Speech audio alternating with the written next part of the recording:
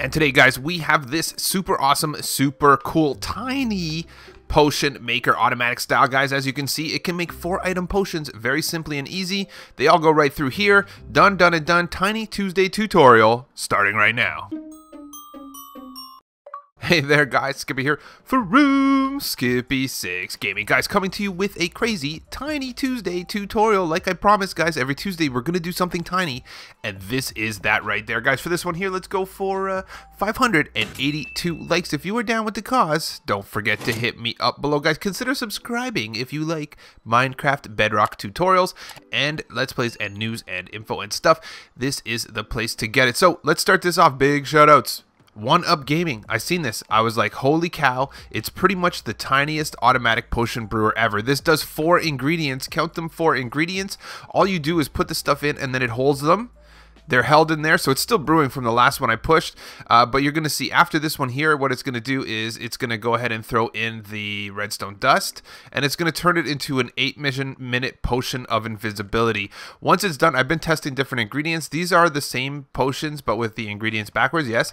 And uh, yeah, so link to link to One Up Gaming's channel in the description below. We're going to tell you what you need. We're going to build this guy. Basically, like I said, it holds the potions in here. Once they're done, they're going to stay and then when you're done with that, all you got to do is press the button, and then guess what? They all go through to the chest. Once they're all in the chest, you're going to get those, and it's going to start brewing some more again. So, yeah, let's start this off. We're going to tell you what you need for this build. You're going to need two sticky pistons, two redstone blocks, four droppers, uh, one wooden button, one brewing stand, two chests, uh, one item frame to make it look pretty, and four hoppers. So you're going to need water bottles for brewing, and you're going to need up to four ingredients for your build. In addition to that, guys, we're going to maybe do a little change, and I'm going to do some testing in game with you. So basically, the way the ingredients work on this one here is the first one goes here, the second one goes here, the third one goes here, and the fourth one goes here. That said, this is going to change if you change the rotation. So based on what, what direction your hoppers are facing, so we're going to build it the opposite way and see exactly what change happens, and then you'll know exactly where they go based on both directions. So let's go over here. We're going to start this guy off with a sticky piston facing backwards like this into a redstone block. In addition to that, we might as well place this guy like this and grab a redstone block right here. Let's get rid of this guy and this guy here. That's the basis of most of your build right there. It's that, that little kind of circuit combo. Yeah, perfect. Take this guy here. Chest goes here. Go ahead and grab your hopper right here. Hopper goes into the chest. Perfect. Brewing stand right here bango. How does that sound?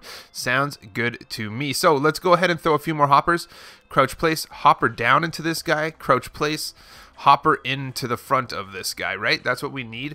Uh, the hopper goes into the front because it's going to be your uh, water bottles. So let's go ahead and change this. I want this to look good. Yep, perfect. Awesome. So once we've done this, we're going to go ahead and turn around right here. And I feel like we're going to want to extend this out a little bit just to, just to sit down. Go ahead and crouch place, crouch, bang, hopper here. So dropper time. So what we're going to do here is, as you can see on the first one, basically this hopper is going to sit on that redstone, right? So let's see if we can't fit it right here. Hopper or dropper, dropper. Make sure we do droppers right here. You could get rid of this guy unnecessary. So uh, actually it is kind of necessary because I need it to stand on. And then this guy here, you're going to see what we want is for him to face up. This is very unique, right? We're going to want this guy to face up. So I'm not sure exactly how I'm going to actually place this guy in. I think we'll do it like this. Like that. Perfect. Dropper facing up. Dropper facing up. And then on this side, we want a dropper facing this way. So let's put a placeholder block right here. Dropper facing this way. So let's get rid of our holders. Not needed anymore. None of them. Make sure you move them. Done, done, done, and done. And this guy here is unnecessary. You're going to need that to access your brewing stand. Go ahead and put a solid block right here. And this is where you put your wooden button. So let's go ahead and I'm going to go ahead and stock up. I'll just time lapse it.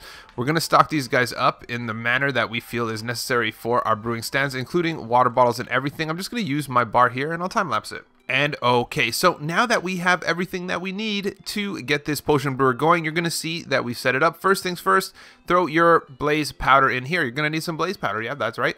Go ahead, go up here. So now, because we switched the direction, because we switched the direction, I have a funny feeling that instead of this order, it's going to go in basically Netherwart first in this one here. The second one is going to be in this one right here. Second one, Golden Carrots. Third one, Fermented Spider Eye right here. And right over here, last but not least, redstone dust. That's going to make it long. Again, you're going to put gunpowder if you want it to go even longer than that. That's going to be where your water bottles are at, and you can see that it's ready for love. Perfect. Go ahead and press the button, and we're going to see exactly what happens.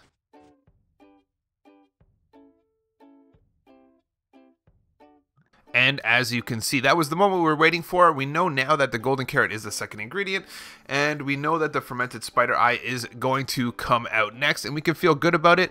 Uh, and yeah, so guys, if it is different, it bases on direction. It does. Hoppers, that's how it works. Let's go over here, and uh, yeah, let's do this. So let's do this. Let's do this. Let's go ahead and throw an item frame on the front to make it look pretty like that. Guys, don't forget to smash that like before you go.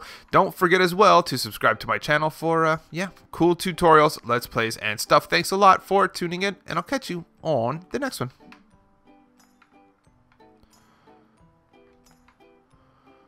I don't know what's going on here. I can't get this to get out of my world. No matter what I do, it stays. It just keeps coming back. I don't know what it is. Uh,